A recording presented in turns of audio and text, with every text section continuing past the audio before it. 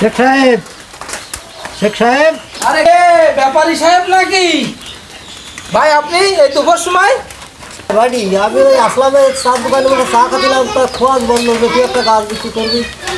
ও আচ্ছা আচ্ছা। হ্যাঁ আমি বাইরে বলেছিলাম যে একটা ব্যাপারী দরকার আমার।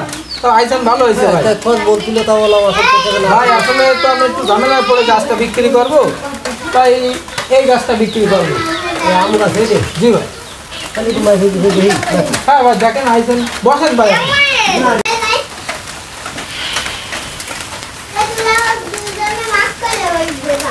আপনি। গাছ তো ভাই অল্প বয়স বিক্রি করে দিতে হবে, একটু অভাবের জন্যে। এখন না বিক্রি করেও পাচ্ছি না ভাই। দেখেন ভাই। ভালো করে মেখে দিতে দেখেন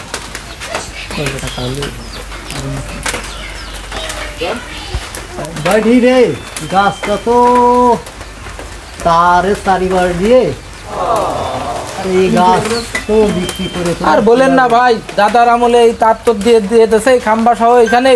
এখন আমার তো দরকার এই গাছটা আমার বিক্রি করতে হবে ভাই। গাছটা অন্য লোকের কাছে না ভাই আপনি এই এলাকার সবচেয়ে বড় ব্যাপারী ভাই আমার ইচ্ছা আপনার কাছে গাছটা বিক্রি করব ভাই আপনি আর এ করেন না তো। আইসেন দেখেন একটা দাম দর করি দুই ভাই। আসলে বাড়ি এই গাছটা তো কিনা যায় না তো তুই এত করে যখন বলতেছিস কয়টা টাকা কি দেখে হলে বিক্রি করবি সেই কায়দা ভাই আমি তো গাছ গাছালি বিক্রি করি না এখন দেখেন আপনি যদি আপনার মাপ জপে খাটায় কয়টা টাকা দিলি আমি আমি উপকৃত হব আর আপনিও লাভ করতে পারবেন সেই কাজে আপনি কয়টা টাকা আমার দিতে পারবেন বলেন। বাড়ি দুই গাছে ডালের খোল দিয়ে মেন দুই তার গেছে আরও মিঠার তার এই পাশে ও পাশে। আর ওইভাবে না তুই কয়টা টাকা কী দেখে হলে বিক্রি করবি সেই আবার বলে দে ভাই এই কয়টা টাকা হলে বিক্রি করবি ভাই আসলে আমি খুব বিপদে পড়ে গাছটা বিক্রি করতে। আসলে ভাই দেখেন আপনি কয়টা টাকা দিতে পারেন।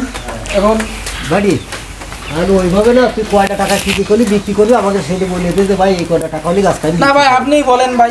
আরে তোর জিনিস তুই দাম না খালি বলা যায়। মানে তুই এইভাবে চা যে এই যে তা ভাই আমি তো আগে পাশে কখনো বিক্রি করিনি এখন আপনি আইসেন বাড়ি পরে গাছ গাছাল দেখলেন মাইফে জুপে কয়টা টাকা পারেন আপনি বলেন? কারণ এতে কারেন্টের পিছনে বেশ টাকা খরচ আছে বুঝছি এ রাত ঘুরে বেড়াতে হবে পায়ে ধরে বেড়াতে হবে তিনটে চারটে তার খুলতে হবে। এখন কয়টা টাকা হলি? কারণ তোর মাল তুই চা যাতে কিনে আমার যাতে লস না না না ভাই আপনি বড় ভাই আইসেন আমার বাড়ি আপনিই বলেন কয়টা টাকা দিবেন। মানে আর গাছ তো আসলে কিনা যায় না। আমি তুই এইরকম জোর করে ধরেছিস এক গ্রামে বসবাস করি সেই কায়দায় গাছটা আবার কিনতে আছে এটা আমার লাভ থাকার দরকার নেই। এখন কয়টা টাকা হলেই তুই বিক্রি করবি আপনিই সেটা বলেন ভাই আপনিই বলেন তো। আচ্ছা তুই তো দাম দর জানিস না বলতেছিস তা তোর বা কী কব আগে করে তুই দেখিস দেখে দেয় গাছটা সাতশোটা টাকা বাড়ি করে দিয়ে যাবে। ওরে!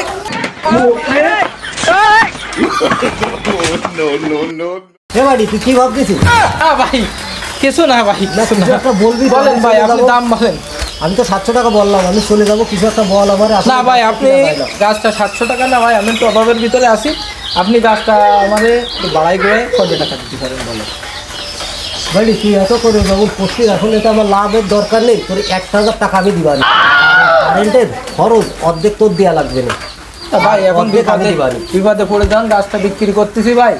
তা আর কি বলব? তা দিবানি কারেন্টে আচ্ছা তাহলে আপনি লাইন কাট করেন। কারেন্টের অর্ধেক খরচ তুই দিয়ে দিস বুঝিস? জি ভাই। তোরে দুইশোটা টাকা বায়না দিয়ে যাচ্ছি। জি আর পরে গাছ যখন মারতে আসবেন ওই সময় টাকাটা ভাই, আসেন, চা নাস্তা করেন, আসেন, বাড়ি থাক আমি এখন ব্যস্ত আছি ভাই আপনি যে কি উপকার করলেন ভাই আসলে আমার এরকম উপকার আপনি অস্বাভাবিক একটা উপকার করলেন। ধন্যবাদ কিন্তু মনে রাখি যে কারেন্টের অর্ধেক খরচ কিন্তু তোমার না সে তো অবশ্যই ভাই আপনার পরে আপনার কথা কাজ আপনার করা যাবে না। আচ্ছা আর এই দৌড় মোটরটা চলা কিছু কটা বন্ধুকে দিয়ে দেবানি আচ্ছা ভাই ধন্যবাদ। ভাই আপনার আচ্ছা, মতো আচ্ছা, ভাই। ধন্যবাদ। ঠিক আছে, ঠিক আছে। ভাই আচ্ছা আচ্ছা।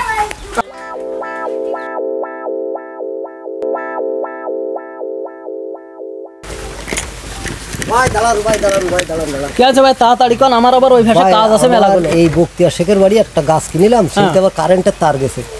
তারটা একটু খোলাতে হবে না ভাই ওসব কাজ আমি করি না আমার ভাই সময় নেই আমি ওসব কাজে প্রচুর ঝামেলা ভাই। আপনার গাছটা কিনা আসলে এটুক কাজ না আমার।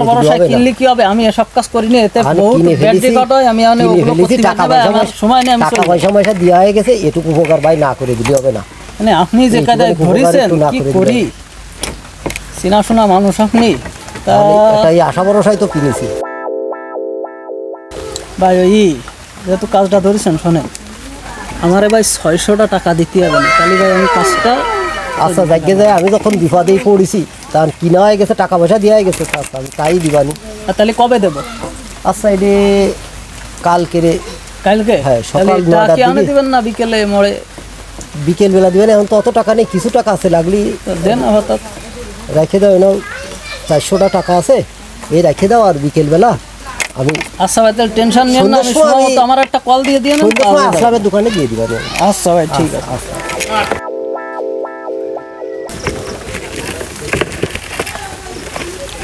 ভাই ভাই আসসালামু আলাইকুম ভাই। ভাই আপনার এই তো খুঁজতেছি ভাই আমি। ভাই আমার একটা উপকার না করে দিলে হবে না ভাই। কি উপকার?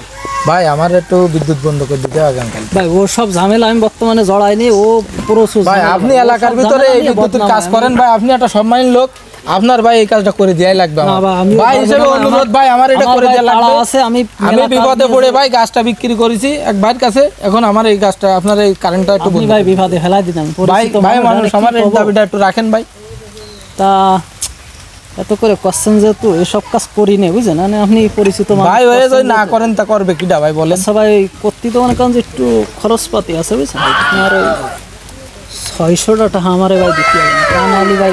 ম্যানেজ করতে হবে বোঝেন তো। আচ্ছা ভাই আলহামদুলিল্লাহ ছয়শো টাকা দিবানি ভাই। আচ্ছা আপনি আমার কাজটা একটু করে দেন। তাহলে ওই তাহলে কালকে সকাল নয়টার সময় আপনার আমি ফোন দিবানি। আচ্ছা দিলে আপনি আমার নাম্বার তো আছে। হ্যাঁ ভাই। ফোন দিয়ে তাহলে আমারে বুঝছেন তা আমার কাছে এখন টাকা আপনি দোকানে এসে নেন সন্ধ্যার পরে। আচ্ছা ওই মোড়ে থাকব হ্যাঁ। সমস্যা নেই হবে না। চাটা খেয়ে জানেন এসে আর তাহলে টাকাটা আচ্ছা ভাই, আমার কাজটা ভাই তাহলে তাহলে আসি ধন্যবাদ ভাই কত বড় উপকার আচ্ছা ভাই, করলেন ভাই। তাহলে আমি বেলা আসসালামু আলাইকুম ভাই ভালো থাকে আচ্ছা ভাই। সাইকেলটা কি আলো? এ রে আল্লাহ রে। হাওয়া নেই। হে সামনের ডায় হাওয়া চলে গেল। অভাবের সময় এদিকে তাড়া আমার। বা দেখছিস গাছ বাঁচলে এক হাজার টাকা। ও ছয়শো ছয়শো দুই দিকের থেকে কামালো। বারোশো। তাও এর অভাব যাচ্ছে না। সাইকেল নষ্ট হয়েছে ঠিক কাজ হয়েছে আরও কত কিছু হবে? চল বাড়ি যাই চল। টাকা কামালাম ছয়শো ছয়শো বারোশো। সাইকেল নষ্ট হয়ে এই ঠিক করতে আনে লাগবে না পনেরোশো। কি লাভ হলো? আসসালামু আলাইকুম হুজুর। আসসালাম। এই ব্যাপার। কি আছে যা কাজ টাজ করাতে হবে নাকি? কাজ আমার করাতে হবে না। আপনি যা করলেন তা তো আমি সব শুনলাম। কি করলাম হুজুর? যেভাবে আপনি ইনকাম করতেছেন হ্যাঁ কি আছে? যেভাবে ইনকাম করতেছেন এই টাকা তো হালা হারাম টাকা। এই হারাম টাকা তো আপনার বেশি দিন থাকবে না। আপনার সাইকেল নষ্ট হচ্ছে এরম আপনার ক্ষয়ক্ষতি হতে হতে আপনার এই টাকাগুলো সব শেষ হয়ে যাবে আপনি বুঝতে পারবেন না। তো এখনও সময় আছে আপনি এই হারাম পদ্ধতিতে সরে হালাল রাস্তায় ইনকাম করেন খরচ করেন অল্প খরচে আপনার সব কিছু হয়ে যাবে। বুঝেছেন? জি হুজুর বুঝলাম বিষয়টা। আচ্ছা দেখি আমি ভেবে দেখি। ওগুলো সাইডে দেন সাইডে দেন ভেবে দেখেন না সাইডে দেন। আচ্ছা হুজুর। দালাল সম্পর্কে হাদিস শরীফে আসছে, নবী করিম সাল্লাহ আলাইসাল্লাম বলেছেন, আল মাকরু ওয়াল খাদিয়াতু ফিন্নার। চলনজীব ও ধোকাবাজি জাহান নামে নিয়ে যায়। আমরা সকলেই হারাম কাজ থেকে বেঁচে থাকব। মানুষকে ধোকা দিব না, মানুষকে ভালো নির্দেশনা দিব, মানুষকে সাহায্য করব।